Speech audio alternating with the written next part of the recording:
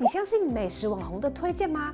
你心目中的美食评论家又是什么样的人呢？我们一般人出去吃饭得付钱，凭什么美食评论家是别人付钱请他去吃饭？而且早在五十年前就有美食评论家被请吃一顿六十万的大餐，今天就要揭开美食评论家诞生的秘密。Hello，各位富迪我出新书了。这本书叫做《例子关键词二：美食家与美食评论》，是我的上一本书《例子关键词》的续集。在这本新书里呢，我试着探讨美食家的养成经过，以及美食家该怎么做评论。如果你对美食很有兴趣，好奇美食家是什么样的人，或者你总是疑惑美食家怎么到处都是，那你一定要看这本书哦。现在就到我的影片下方或者美食家选物的官网购买吧。Hello，各位腹地，我是 Liz。你想好今天要吃什么了吗？没有灵感的话，拿出手机滑滑短影音吧。美食网红会推荐给你一辈子也吃不完的食物，不管是吃爆宜兰礁溪、大阪美食一日攻略，或是台北米其林星级的螃蟹飨宴，每天光用眼睛看就饱了。说真的，我们根本不怕没有美食推荐，而是害怕太多美食推荐啊！现在简直满街都是美食评论家，只要你有手机、有嘴巴、舌头没有坏掉，还是说舌头坏掉也没关系哦。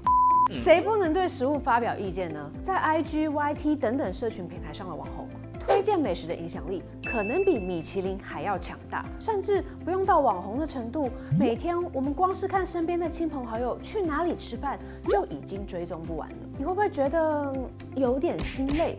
我其实会，因为这是一种众生喧哗，让我很焦躁。到底我该相信谁呢？关于美食，谁才是值得信赖的权威？所以今天我想跟大家聊聊美食评论家。美食评论家究竟是什么样的人？从事什么样的工作？美食评论的制度又是如何被建立起来的呢？回顾历史上的第一位美食评论家，以西方的观点来说，十之八九会提到法国的美食家祖师爷，生存在十八世纪末、十九世纪初的布西亚萨王兰。那他生活的年代刚好横跨法国大革命前后，那是一个王公贵族没落、新贵的中产阶级崛起的时期。过去被贵族聘雇的家厨，也早在法国大革命开始前就陆续出来开餐厅，形成新兴的商业街区。这个时候，餐馆业开始蓬勃发展。布西亚萨瓦兰是谁呢？他就是告诉我你吃什么，我就知道你是谁这句名言的发明人。不过啊，萨瓦兰的状况有点特殊，他还在世的时候不被认为是一位美食家或美食评论家，他也不从事饮食相关行业。出身上流社会的他是一位法官。那么他的美食地位是如何被奠定的呢？其实他只写了一本书，叫做《味觉生理学》。而且是在他死前两个月才出版的。那这本书为什么重要呢？因为萨瓦兰基本上建立了美食学，它不是食谱，也不是文学小说，它就是谈吃，谈饮宴之乐，谈人的味觉、食欲、消化，也谈特色菜肴。更谈美食家、美食主义。这本书开启了美食评论的先河，即便以当代的眼光来看，也不退流行。就连《寿司之神》里面出现的重量级日本美食评论家山本一博先生，也必须喊萨瓦兰一声 Sensei。还有一位经常被认为是美食评论家原型的法国人，是葛利莫·德拉黑尼耶，跟萨瓦兰同属一个年代。他也不从事饮食行业，也出身上流社会。曾经担任记者，在法国大革命期间观察到餐馆业蓬勃发展，于是起心动念创办了一本介绍与品评餐厅、咖啡馆的期刊，叫做《老饕年鉴》。那《老饕年鉴》堪称是餐饮评鉴的烂商啊！创立于一八零三年，内容有餐厅食品店的推荐、当季食材以及料理方法、读者来函、饮食新知等等。你不妨把它想象成两百年前的《料理台湾》或者《Food and Wine》杂志。不过，老饕年鉴因为内容转而攻击餐饮业者的私生活而吃上诽谤官司，最终在一八一二年停刊了。而根据学者的研究，现在几乎所有的美食书写。都能巡线连回萨瓦兰或黑尼叶这两人的其中一位，但你应该发现了，不论是萨瓦兰或者黑尼叶，他们都不是以美食评论工作为生。黑尼叶虽然有创办杂志，但他应该不靠这个，因为老饕年限停刊后，他还多活了二十六年。看到这里，你觉得美食评论家可以靠什么为生呢？欢迎留言告诉我哦。看完十九世纪的法国，让我们把镜头转到二十世纪的美国。根据我手边的资料，比较明确的现代美食评论家的起源，或许是一九六零年代的《纽约时报》。而我们接下来的故事主角，就是《纽约时报》的第一位餐厅评论人克雷格·克莱伯恩。说出来你会吓一跳，在克莱伯恩之前，美国根本没人在意美食评论。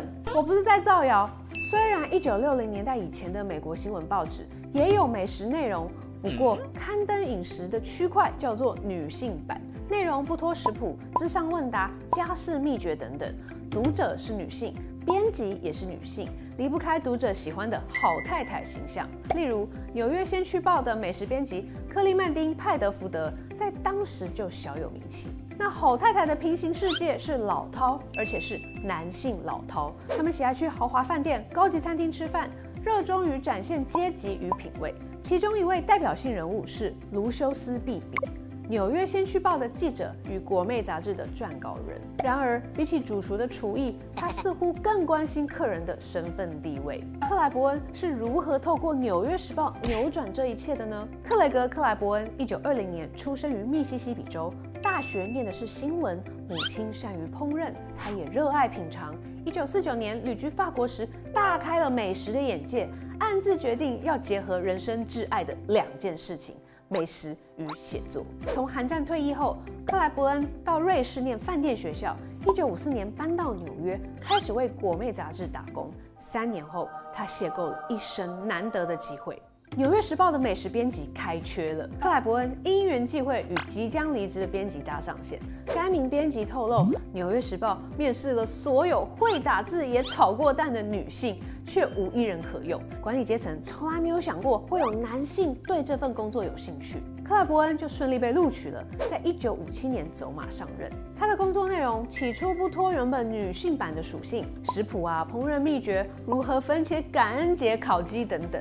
但他也渐渐写起餐厅。头几年，克莱伯恩的餐厅评论不是固定单元。到了一九六二年，他才创立《用餐指南》这个栏目，但是篇幅很短，还不是真正的餐厅评论。到了一九六三年，《餐厅评论》（Restaurant Review） 才确定在每周五刊出。而就在同一年，克莱伯恩建立了星级平等。起初只有三星，隔年增为四星，这个制度也屹立至今一甲子。除此之外，克莱伯恩还为自己设下评论餐厅的规则：第一点，不接受赞助或招待，费用全由报社买单；第二点，必须匿名用餐。第三点，在下判断前必须至少造访餐厅三次。这些规则后来成为了行业基准。克莱伯恩又是如何建立起评论美食的权威呢？一个加分点是他具备瑞士饭店学校的专业知识，可以详细的分析主厨的厨艺。但更重要的是，他把食评放在跟书评、乐评、艺评、剧评同等重要的位置，一丝不苟地衡量餐厅的食物、服务、气氛，建立起绅士般的权。权威感，不恶毒也不谄媚，就事论事，因此赢得了忠实的读者群。不过，位高权重的食评家克莱伯恩其实有一个恶名昭彰的事迹，就是他曾经花四千美元吃一顿饭，而且是五十年前的四千美元哦，相当于现在的新台币六十万元。这顿饭到底吃了什么？原来和一场慈善募款活动有关。克莱伯恩用三百块美元竞标到一顿由美国运通买单的两人晚餐，晚餐的地点和金额都任由得标人决定。于是克莱伯恩选择了巴黎的一间小馆，请老板开出他心目中最昂贵的一份菜单，包含了九瓶美酒以及三十一道菜，贝鲁嘎鱼子酱、贝隆生蚝、布列斯基等等珍馐美馔都用上了。整个六零年代是克莱伯恩影响力巅峰的时期，他是那一位品味定义者，握有餐厅的生杀大权。然而，这也成为压迫他的重担。他在回忆录中写道：许多不成眠的夜晚，他在脑中趁着一间餐厅比起另一间餐厅的新兴价值，忧心着酱汁里的隐藏风味到底是罗勒还是他认定的迷迭香。沉重的负荷让他一度在1970年离开《纽约时报》。而当他在一九七四年回国担任美食编辑的时候，《纽约时报》同意他不再碰餐厅评论。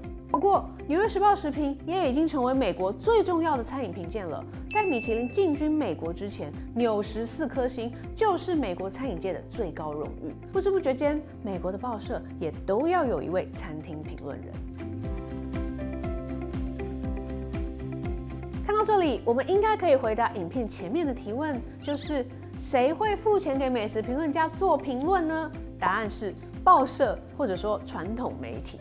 那听到这个答案啊，你应该想擦擦额头上冷汗吧？传统媒体现在活得那么辛苦，这个饭碗能捧下去吗？更何况现在谁认识《纽约时报》的餐厅评论人啊？那如果最近你问美国人谁是最有名的美食评论家，你得到的答案很有可能是 Keith Lee。他在 TikTok 上面拥有超过一千五百万名粉丝，这个和《纽约时报》的餐厅评论人简直是天平两端的对比。在社群媒体时代，这位 Kiss 只是在车子里面吃着外带的餐点，对着手机的前镜头讲出他品尝的诚实意见，就获得了无与伦比的影响力。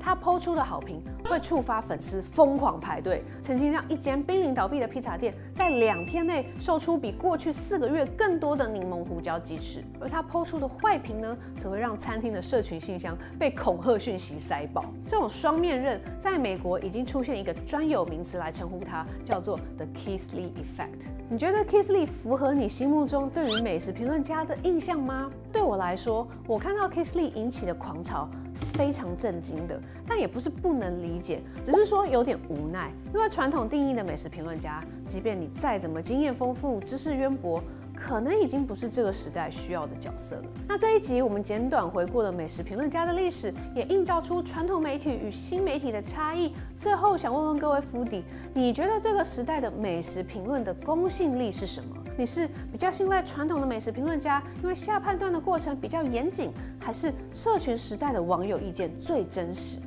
还是不论如何，你都相信栗子的推荐？留言告诉我吧。最后，我还是来打一下书哦，我的新书《栗子关键词二：美食家与美食评论》哦，有更多关于美食家和美食评论家的养成哦。今天这集内容呢，也是这本书的精华。如果你想更深入了解的话呢，请一定要到下面的链接来买我的新书哦。好的，以上就是本节内容，希望你喜欢。最后要记得订阅我的频道《栗子的美食家自学之路》，开启小铃铛，锁定更多精彩的美食分享与评析。我们就下次见喽，拜拜。